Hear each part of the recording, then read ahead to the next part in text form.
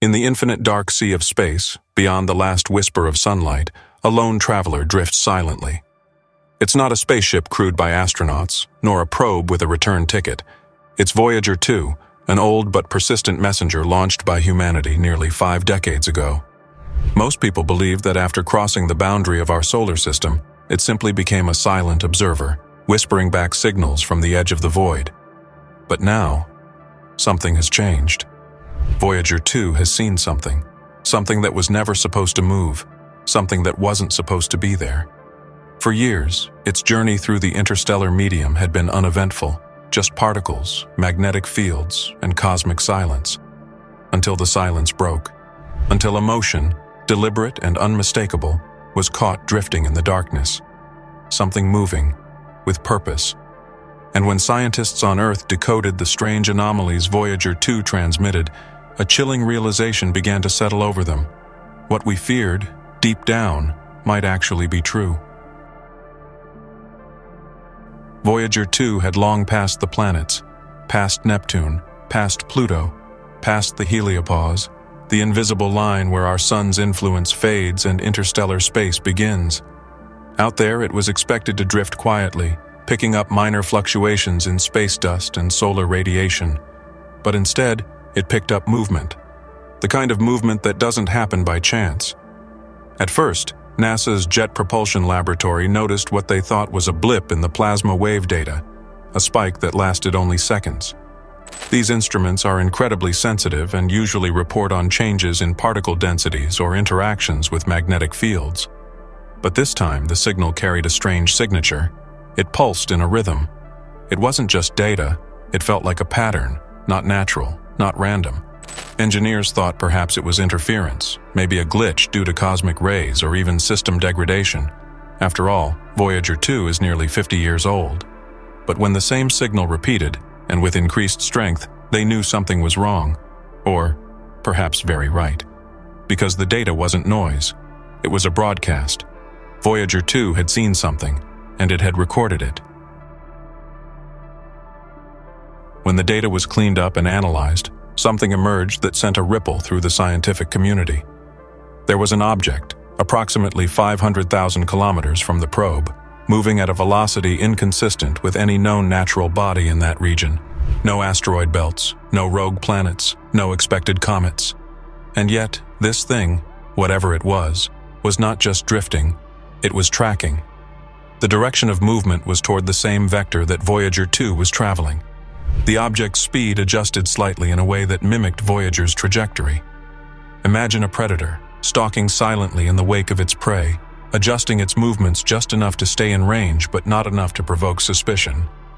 NASA scientists weren't alone in their panic.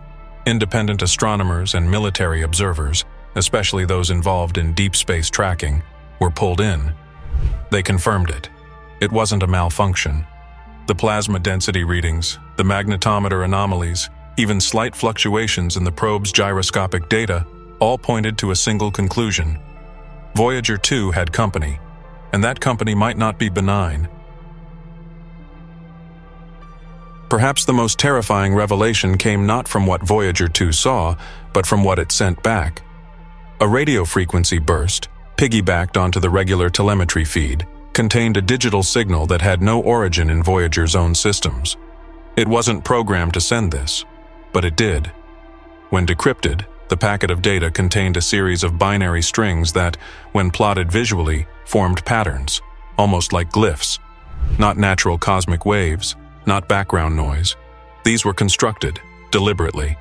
Some likened them to crop circle geometry, others to symbols seen in early human history spirals, intersections, recursive loops. A group of AI linguists and astrophysicists ran the data through contextual analysis algorithms. The results were horrifying. The structure of the signal matched what we would expect from an intentional transmission, not from Voyager, but from something else. Something that had either hijacked or embedded itself in the signal stream. Whether it was a warning or a message, no one could say for sure. But the implications were clear. Voyager 2 wasn't alone in deep space, and what it encountered might have noticed us back. The scientific community is divided. Some argue this is the evidence we've been waiting for, proof that we're not alone. Others are less optimistic, worried that this is a signal of surveillance or worse, prelude. In past decades, the thought of extraterrestrial life was mostly relegated to exoplanet discoveries and faint signals from distant stars. But this? This was close, and it wasn't passive. What makes this discovery even more chilling is the timing. Similar anomalies were observed in data from Voyager 1 just months before, but were dismissed as static interference. Now those readings are being reviewed under a new light. And many believe we've been too blind, too arrogant to consider the most terrifying explanation. That someone, or something, has been watching us longer than we dared to admit. And now, they've made contact. As Voyager 2's instruments continued to capture data, a team at the Deep Space Network received an unfiltered stream of electromagnetic readings, frequencies oscillating in patterns they had never encountered before. At first, analysts thought it could be interference, cosmic rays, a background fluctuation. But when the team isolated the signal and enhanced its waveforms, what emerged stunned them, a structured sequence, pulsing with mathematical precision, almost as if it were artificial. Scientists ran a Fourier analysis. What they saw mirrored the base harmonic frequencies of hydrogen, but inverted. A deliberate alteration of the universe's most abundant element? What could that possibly mean? The signal wasn't just noise, it was trying to speak.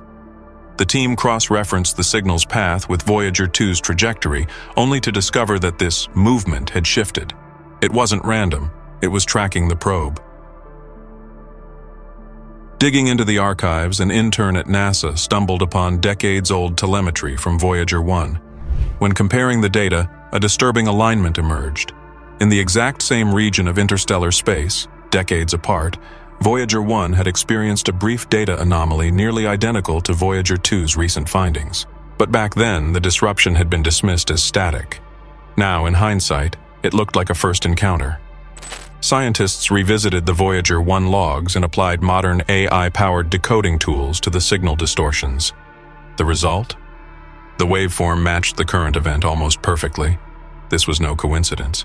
Something, or someone, was waiting in the void, and it had encountered both Voyager probes. The implication? This was not the first time we had been noticed. Using precise modeling, the team mapped the anomaly's motion. It didn't follow gravitational arcs like a comet or asteroid. Instead, its trajectory bent unnaturally, as if warping spacetime itself to remain hidden. Every simulation failed to replicate its path using known physics. Worse still, the object seemed to accelerate and decelerate at will, hovering on the edge of visibility, just beyond the reach of standard optical instruments. NASA scientists described its behavior as reactive, meaning it only moved in response to Voyager's transmissions. Was it listening? Learning? Or was it trying to avoid being seen altogether? Some began to question, what if Voyager 2 didn't just discover this object, it provoked it?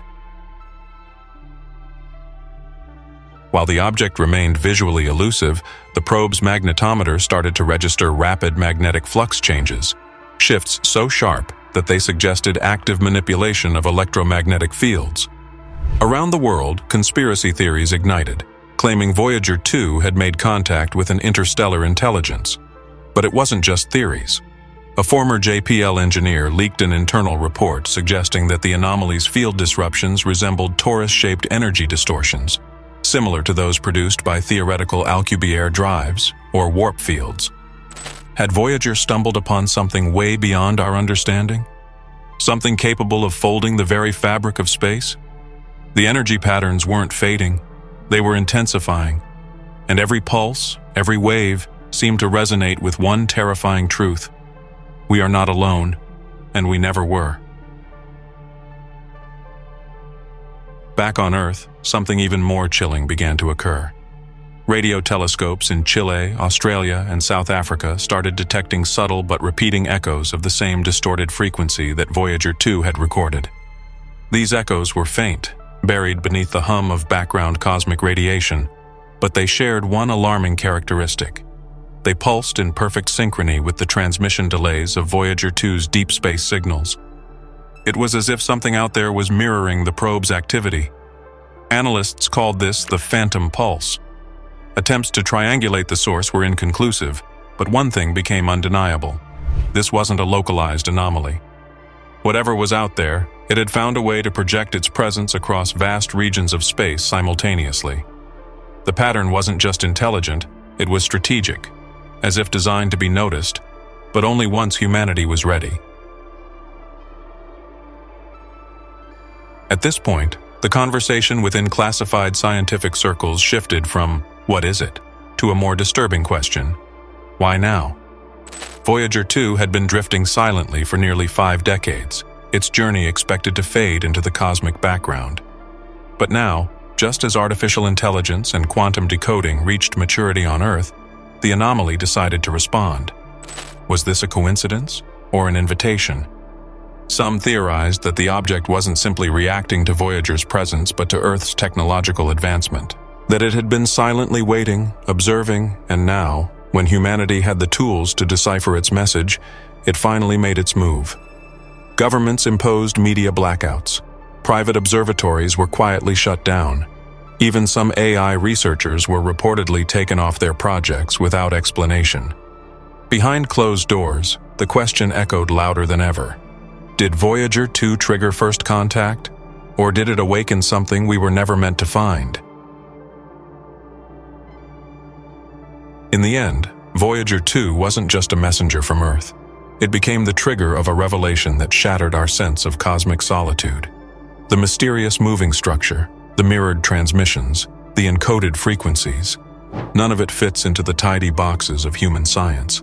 Something, or someone, is out there, not billions of light years away, but lurking in the shadows of our own solar system, watching, waiting, and perhaps the most terrifying part?